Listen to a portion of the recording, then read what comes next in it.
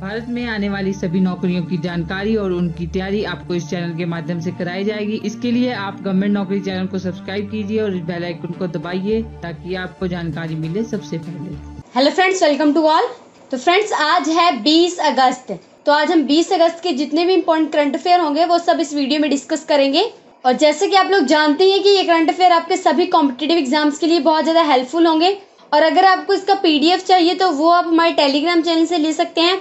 हमारे Telegram channel का link आपको वीडियो के डिस्क्रिप्शन में मिल जाएगा, या फिर अपने टेलीग्राम एप्लीकेशन पर एट द रेट गवर्नमेंट नौकरी लिख कर सर्च करेंगे, तब भी हमारा चैनल आ जाएगा और वहाँ से आप इसके पीडीएफ ले सकते हैं।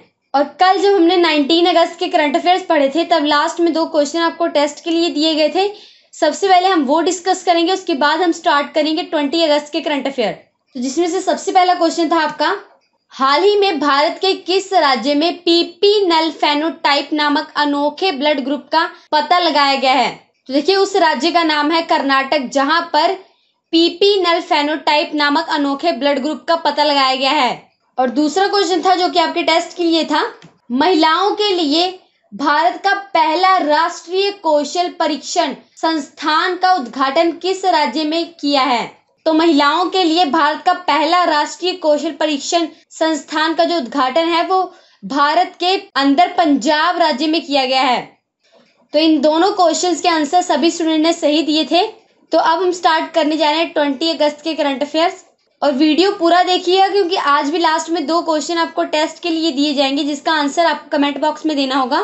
तो चलिए देखते हैं ट्वेंटी अगस्त के करंट अफेयर्स आज का सबसे पहला क्वेश्चन है हाल ही में संयुक्त राष्ट्र के किस पूर्व प्रमुख का निधन हुआ है? तो अभी हाल ही में 18 अगस्त 2018 को संयुक्त राष्ट्र के जो महासचिव थे, जिनका नाम था कॉफ़ी अन्नान, उनका हाल ही में स्विट्जरलैंड के अंदर निधन हो गया है। और इनका जो निधन है, वो किसी आपातकालीन बीमारी की वजह से हुआ है। और इनकी जो उम्र थी, वो 80 वर्ष की थी। और ये संयुक्त राष्ट्र के सातवें महासचिव थे। और देखिए, कॉफ़ी अन्नार को 2001 में उनके मानवीय कार्यों के लिए नोबेल पुरस्कार से भी सम्मानित किया गया था।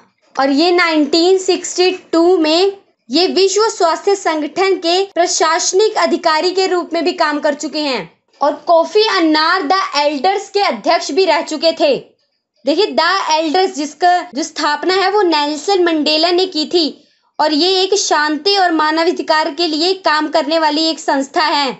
अब इसके बाद कुछ इंपॉर्टेंट बातें संयुक्त राष्ट्र के बारे में जान लेते हैं। संयुक्त राष्ट्र का जो हेडक्वार्टर है, वो न्यूयॉर्क में है। और इसकी स्थापना 24 अक्टूबर 1945 में हुई थी। और 24 अक्टूबर 1945 को ही यूनाइटेड नेशंस डे मनाया जाता है। और यूनाइटेड नेशन के जो प्रेजेंट में सेक्रेटरी हैं, उनका नाम है एंटोनियो गुटरेस। तो इतनी इंपॉर्टेंट बातें आपको जाननी थी इस करंट अफेयर के बारे में। आज का अगला करंट अफेयर है, हाल ही में किस प्रदेश से सुंदरी नामक बाघ को लाकर उड़ीसा के सतकोसिया टाइगर रिज़र्व में छोड़ा गया है?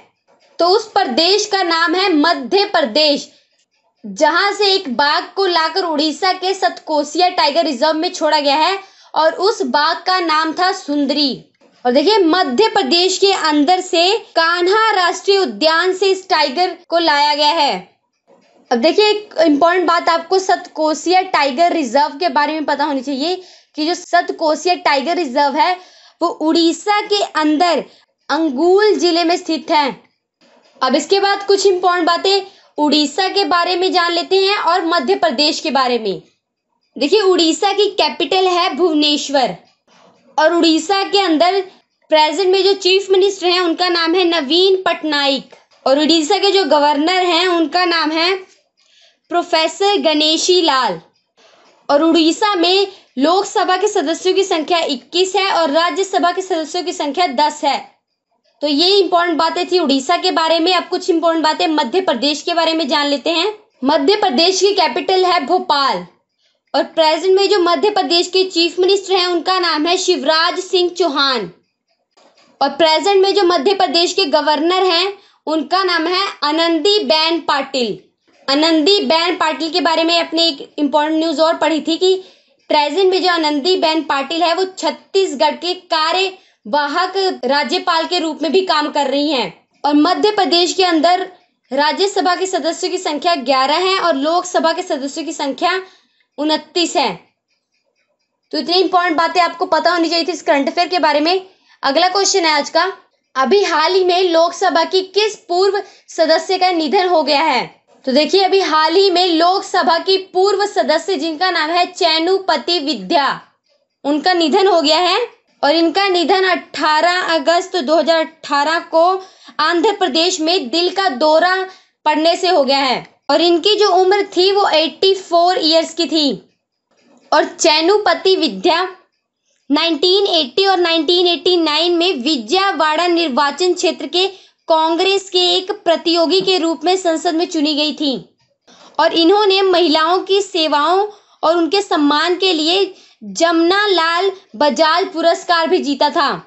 और देखिए, इनके पिता का नाम था गोपा राजू रामचंद्र राव, जो कि नास्तिक आंदोलन के नेता थे। अब देखिए, यहाँ पर नाम आया है आंध्र प्रदेश का। तो कुछ इंपॉर्टेंट बातें आंध्र प्रदेश के बारे में जान लेते हैं। आंध्र प्रदेश की कैपिटल है हैदराबाद। और प्रेजेंट में जो आंध्र प्रदेश के चीफ मिनिस्टर हैं, उनका नाम है एन चंद्र बाबू नायडू। और प्रेजेंट में जो आंध्र प्रदेश के गवर्नर हैं, उनका नाम है ई एस एल नरसिम्हा। और आंध्र प्रदेश राज्य का जो गठन है, वो एक अक्टूबर 1953 में हुआ था। और आंध्र प्रदेश के अंदर राज्यसभा के सदस्यों की संख्या 11 है और लोकसभा के सदस्यों की संख्या 25 है। तो इतनी इंपॉर्टेंट बातें आपको पता होनी चाहिए थी आंध्र प्रदेश के बारे में, जो कि आपके एग्ज़ाम्स के लिए इंपॉर्टेंट हो सकती हैं। तो अगला करंट अफेयर है। 2018 अल्बानी मेडिकल सेंटर पुरस्कार कितने लोगों को दिया जाएगा? तो देखिए 2018 में अल्बानी मेडिकल सेंटर पुरस्कार तीन लोगों को दिया जाएगा। जिनके नाम है James P Allison, Carl June और तीसरे हैं स्टीवन ए रोसेनबर्ग। तो इन तीन लोगों को 2018 में अल्बानी मेडिकल सेंटर पुरस्कार से सम्मानित किया जाएगा। और इन्हें मेडिसिन और बायोमेडिकल रिसर्च में 2018 में इस पुरस्कार से सम्मानित किया जाएगा। और इन तीनों को इसलिए इस पुरस्कार से सम्मानित किया जा रहा है क्योंकि इन्होंने इम्यूनोथेरेपी में क्षेत्र में प्रमुख योगदान दिया है अपना। और कैंसर के उपचार के लिए इन्होंने क्रांतिकारी बदलाव भी लाए हैं। और इन तीनों वैज्ञानिकों को 26 सितंबर 2018 में अल्बानी मेडिकल सेंटर पुरस्कार से सम्मानित किया जाएगा। और पुरस्कार के साथ ही साथ इन्हें पाँच लाख डॉलर का नगद पुरस्कार भी दिया जाएगा। अब देखिए कुछ इंपॉर्टेंट बातें, अल्बानी मेडिकल सेंटर पुरस्कार के बारे में जान लेते हैं। इस पुरस्कार की जो स्थापना है, वो 2001 में हुई थी। और इसकी जो स्थापना है, वो मॉरिस मार्टी सिल्वरमैन द्वारा की गई थी। आज का अगला क्वेश्चन है अभी हाल ही में फोर्बस ने दुनिया की सर्वाधिक कमाई करने वाली अभिनेत्रियों की सूची बनाई गई है, जिसमें हॉलीवुड अभिनेत्री स्कारलेट जोहानसन को कौन सा नंबर मिला है? तो देखिए, इस साल जो फोर्ब्स ने दुनिया की सर्वाधिक कमाई करने वाली अभिनेत्रियों की सूची बनाई है, उसमें जो हॉलीवुड अभिनेत्री है, जिनका नाम है स्कारलेट जोहानसन, उन्हें पहला स्थान मिला है। और स्कारलेट जोहानसन, जिनकी उम्र 33 वर्ष की है तो देखिए फोर्ब्स के अनुसार स्कारलेट जोहानसन दुनिया के सबसे ज़्यादा कमाई करने वाली हॉलीवुड अभिनेत्री बन गई हैं। और फोर्ब्स की लिस्ट में दूसरे नंबर पे हैं एंजेलिना जोली और इस लिस्ट में तीसरे नंबर पे हैं जेनिफर एंसिटन और जब पिछले साल 2017 में फोर्ब्स ने दुनिया की सबसे ज़्यादा कमाई करने वाली अभिनेत्रियों की सूची बनाई थी, तब 2017 के अंदर बॉलीवुड की दो अभिनेत्रियाँ इसमें शामिल थी। जिसमें से दीपिका पादुकोण छठे नंबर पर थी और प्रियंका चोपड़ा दसवें नंबर पर थी। पर इस साल 2018 में ये दोनों इस लिस्ट से बाहर हो गई हैं और अब पहले स्थान पर हैं स्कारलेट जोहानसन। अब इसके बाद कुछ इंपॉर्टेंट बातें आपको फोर्ब्स के बारे में पता होनी चाहिए। देखिए फोर्ब्स की जो स्थापना है वो 1917 में हुई थी और इसका जो हेडक्वार्टर है वो न्यूयॉर्क में है यूएस के अंदर न्यूयॉर्क में। और इसके जो सीईओ हैं उनका नाम है मिचेल पैरलिस और स्टेव फॉरविस।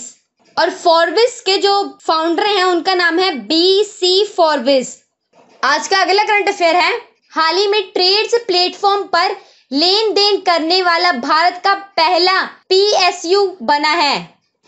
तो हाल ही में ट्रेड्स तो हाल ही में ट्रेड्स प्लेटफॉर्म पर लेन देन करने वाला भारत का पहला पीएसयू, यानी कि पब्लिक सेक्टर अंडरटेकिंग, हाल बन गया है। और देखिए, हाल का पूरा नाम होता है हिंदुस्तान एयरनोटिक्स। और देखिए, ट्रेड्स का पूरा नाम होता है ट्रेड डिस्काउंटिंग सिस्टम रिसीवेबल। और ट्रेड्स कई फाइनेंसरों के माध्यम से सूक्ष्म, लघु और मध्यम उद्यमियों, यानी कि एमएसएमई के व्यापार प्राप्तियों के वित्त पोषण को सुविधाजनक बनाने के लिए एक ऑनलाइन इलेक्ट्रॉनिक संस्थागत तंत्र है। अगर आसान तरीकों में समझा जाए कि ट्रेड्स क्या होता है तो ट्रेड्स व्यापार से रिलेटेड लेन देन करने का एक प्लेटफॉर्म होता है। अब इसके बाद कुछ इंपॉर्टेंट बातें हाल के बारे में जान लेते हैं। देखिए, जैसे कि मैंने हाल का पूरा नाम आपको बता ही दिया, हिंदुस्तान एरोनॉटिक्स लिमिटेड। और इसका जो हेडक्वार्टर है वो बेंगलुरु में है। और इसकी स्थापना 1940 में हुई थी और इसके जो फाउंडर हैं, उनका नाम है वालचंद हीराचंद। और इसके जो चेयरमैन और एमडी हैं, उनका नाम है टी सुवर्णा राजू। तो ये कुछ इंपॉर्टेंट बातें थी। इस करंट अफेयर के बारे में अगला करंट अफेयर है। हाल ही में बाफ्टा का ब्रिटानिया पुरस्कार किसने जीता है? तो हाल ही में बाफ्टा का ब्रिटानिया पुरस्कार स्टीव मैक्यूएन ने जीता है। और ये ब्रिटिश के डायरेक्टर हैं, स्टीव मैक्यूएन। देखिए, स्टीव मैक्यून ब्रिटिश के एक डायरेक्टर हैं, इसीलिए इनकी एक फ़िल्म है, जिसका नाम है एयर्स ए स्लेव। उसके लिए इन्हें पुरस्कार भी मिला था, ऑस्कर अवार्ड।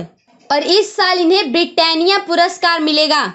और देखिए जो ब्रिटानिया पुरस्कार है, वो मूवीज़ के डायरेक्टर्स को दिया जाता है। अगला करंट अफेयर है। ईआईयू e ने ग्लोबल लाइबिलिटी इंडेक्स 2018 जारी किया है। और आपको ये बताना है कि ओसाका को कौन सा स्थान मिला है? तो देखिए ईआईयू e यानी कि इकोनॉमिक्स इंटेलिजेंस यूनिट तो इकोनॉमिक इंटेलिजेंस यूनिट्स ने ग्लोबल लाइबिलिटी इंडेक्स 2018 जारी किया है, जिसमें ओसाका को तीसरा स्थान मिला है। और पहला स्थान वियना को मिला है और दूसरा स्थान मेलबोर्न को मिला है और तीसरे नंबर पर है ओसाका। और देखिए ईआईयू e ने कुल 140 शहरों की सूची बनाई थी, जिसमें उनकी जीवन की स्थितियों के आधार पर रैंकिंग की गई थी। और इस लिस्ट में दो भारतीय शहर भी शामिल है, जिसमें से पहला है दिल्ली और दूसरा है मुंबई। और इस लिस्ट में दिल्ली को 112वां स्थान मिला है और मुंबई को एक अब इसके बाद कुछ इंपॉर्टेंट बातें ई आई यू यानी कि इकोनॉमिक्स इंटेलिजेंस यूनिट के बारे में जान लेते हैं। इसका जो हेड क्वार्टर है, वो लंदन में है यूके के अंदर लंदन में। और इसकी जो स्थापना है, वो 1946 में हुई थी। तो इतनी इंपॉर्टेंट बातें थी। इस करंट अफेयर के बारे में अगला क्वेश्चन है, किसे वार्षिक डीजीए से सम्मानित किया जाएगा? और देखिए डीजीए का पूरा नाम होता है डायरेक्टर्स गिल्ड ऑफ़ अमेरिका तो इस वर्ष 18 अगस्त 2018 को डीजीए यानी कि डायरेक्टर्स गिल्ड ऑफ़ अमेरिका से एंगल ली को सम्मानित किया गया है। और इनकी जो उम्र है वो 63 इयर्स की है। और ये एक ऑस्कर विजेता भी रह चुके हैं। और 18 अक्टूबर 2018 को न्यूयॉर्क शहर में डीजीए थिएटर आयोजित किया जाएगा।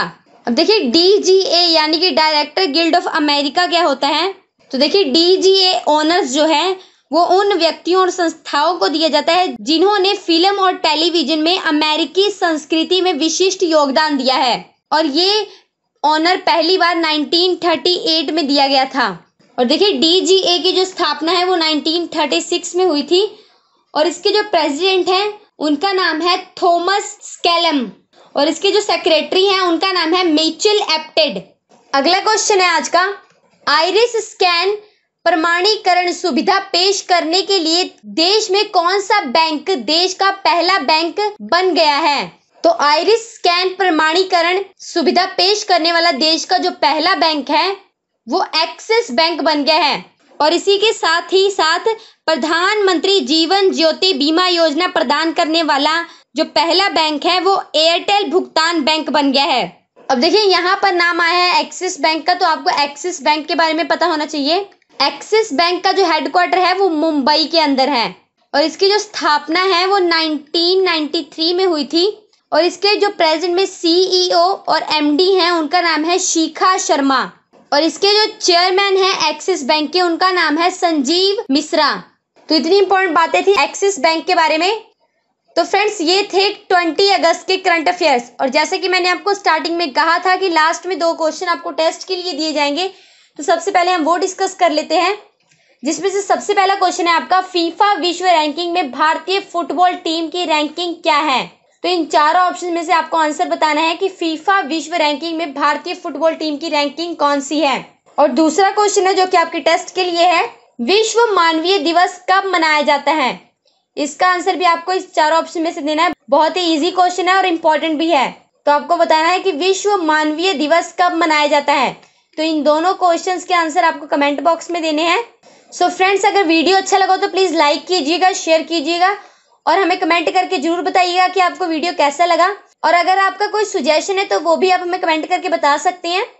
तो हम आपसे मिलते हैं नेक्स्ट लेक्चर में ट्वेंटी अगस्त के करंट अफेयर्स के साथ। Thank you